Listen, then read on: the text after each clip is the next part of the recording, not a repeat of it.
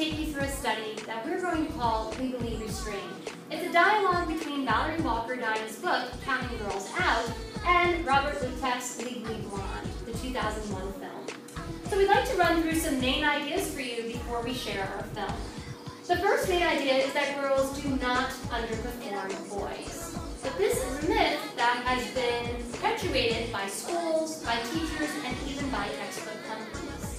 But what data has found, and what case studies that Walkerdine conducted found, was that girls do not actually underperform boys. They're just not encouraged as much as boys to follow a certain path, particularly with math and science.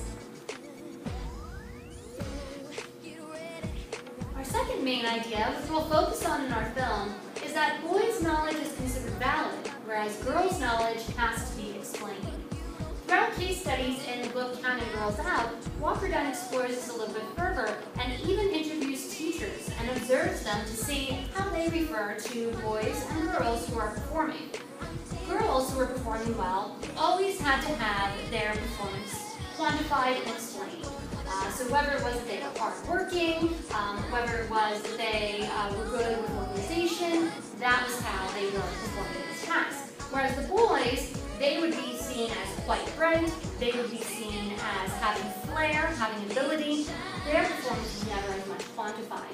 And we see also in the movie Legally Blonde, when Elle Woods is applying to Harvard, some people are shocked, and especially they don't value her GPA she has a CULA as a fashion major. And why is that? Why are we valuing some knowledge over others? And we'll explore that more The third main idea that we'll be is the burden of emotional responsibility and how that lies on the female. And in Walkerdine's Counting Girls Out, there's two distinct times where we talk about this emotional burden that's placed on females. One case study is when she interviews female teachers and sees how, it really interviews them about how their emotional burden is coming out of the classroom. Another case study is when she interviews and observes mothers of four-year-old children and sees how they are expected um, if they want to be a good mother, uh, this emotional responsibility Also, in the film, Elle, when she's applying to college, does not really have that supportive of a mother. But then we see is the female professor who picks up the emotional slack and convinces her to stay at Harvard and follow her dreams. Another main theme has to do with gender itself. And what we wanted to bring out is that gender is not a constant oppression, but it is a constant struggle. And we see this in several case studies in the book. There's one particular case study where girls are, young girls are trying to change playtime, and they're trying to change it to playing house because that was where they saw strong, dominant female roles. So even there, we see this idea of struggle. We see them trying to change the playtime to uh, venues that they might have more support, that they might have um, stronger opinions being heard. Also, later on, we see that many of the girls, especially the middle class girls, they're never quite sure if they are good enough. They are expected to do good, and they don't see the praise that boys were seeing for doing the same work. This was leading to a lot of anxiety that the young girls were having. And finally, in the film Legally Blonde, we see that Elle Woods, even though she's gotten into Harvard, even though she's been accepted, she still questions herself, and there are still people around her who question whether she's good enough to be at Harvard. Our last main argument is that class has a bigger effect on performance than gender. And in one particular case study uh, to which Walkerdine created a table, you can clearly see here there's, um, there's a section for test scores, a section for middle class girls, and a section for working class girls. And even the top performing working class girl is below almost all of the, the middle class girls. Also, only the middle class girls have access to private schooling education. This theme comes out in Legally Blonde as well, because as Elle is applying to Harvard, she does a video essay, and we can see a lot of the signs of wealth. She grew up in Bel Air, she grew up in a mansion, her parents have a lot of money and resources. Her admissions video is directed by a Coppola, so she has a lot of economic and cultural capital. And we explore this question of, do you think that Elle would have gotten into Harvard if she didn't have all of this wealth? All of these themes were present in the film Legally Blonde. And our goal was to really pull out the themes of the book and show how they were present in the film. but we might not get to all of them in the movie that you're about to view. So please reference our viewing guide so if you watch Legally Blonde on your own, you can have a reflection on how these themes are present. We have suggested that within current school mathematics, certain fantasies, fears, and desires invest man with omnipotent control of a calculable universe, which at the same time covers a desperate fear of desiring the other, woman. The need to prove girls' mathematical inferiority is not motivated by a certainty, but by a terror of loss. In this story, these fantasies, fears, and desires become the forces that produce the actual effectiveness of the construction of fact and of current discursive practices.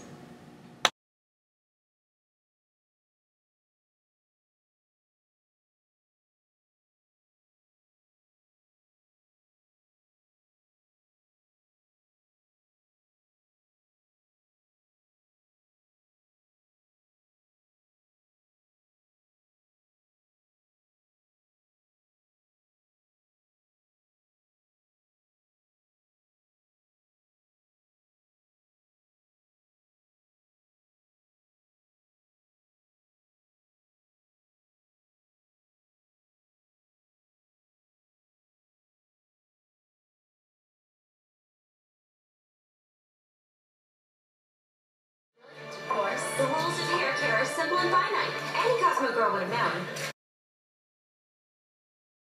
Yesterday.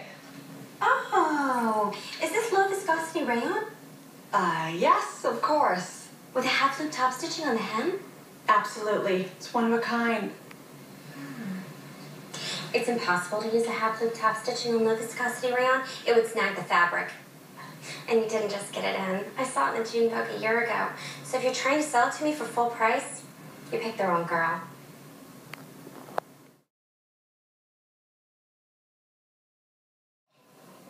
Harvard Law School? That's right. But that's a top three school. Oh, I have a 4.0. Yes. But your major is fashion merchandising. Mm. Harvard won't be impressed that you aced history of polka dots.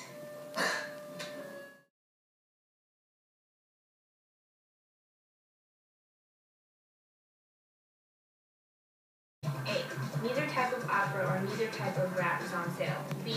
Neither type of jazz neither type of opera is on sale. C.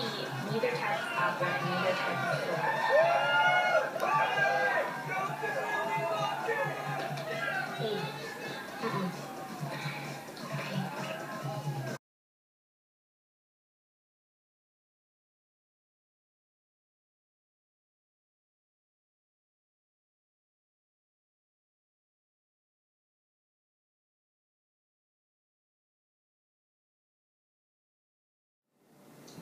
Did you know when he first applied? He got waitlisted. What? His father had to make a call. You're kidding.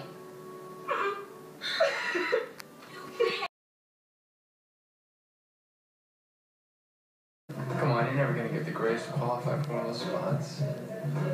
You're not smart enough, sweetie. Wait, am I on glue or did we not get into the same law school, Warner? Yeah, but But what? We took the same LSATs and we're taking the same classes. I know. But come on, Elle, be serious.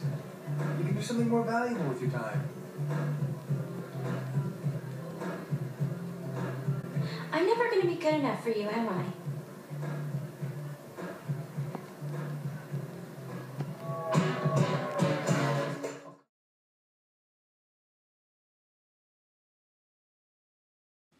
If teachers invest boys with invisible capacities and deny that they see such capacities in girls, there is again no simple empirical real for us to find.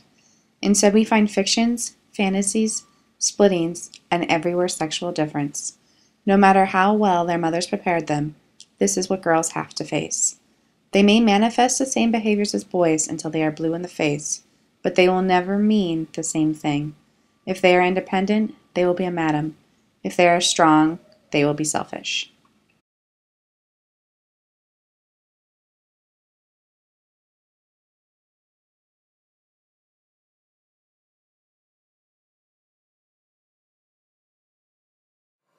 law school? It's a perfectly respectable place, Daddy. Honey, you were first runner-up at the Miss Hawaiian Tropics contest. Why are you going to throw that all away? Going to Harvard is the only way I'm going to get the love of my life back. Oh, sweetheart, you don't need law school. Law school's for people who are boring and ugly and serious. And you button are none of those things.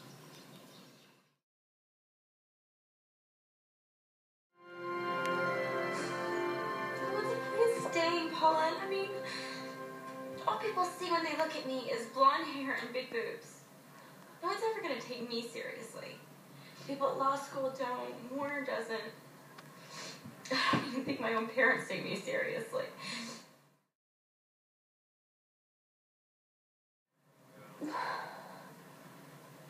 The hell with law school. I just wanted to say goodbye. If you're going to let one stupid prick ruin your life,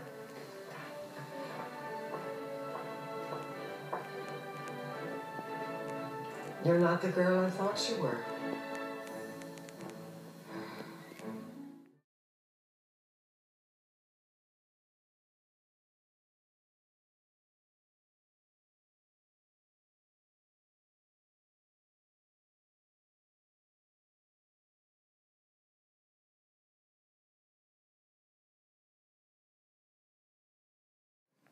Just because I'm not a Vanderbilt, suddenly I'm white trash?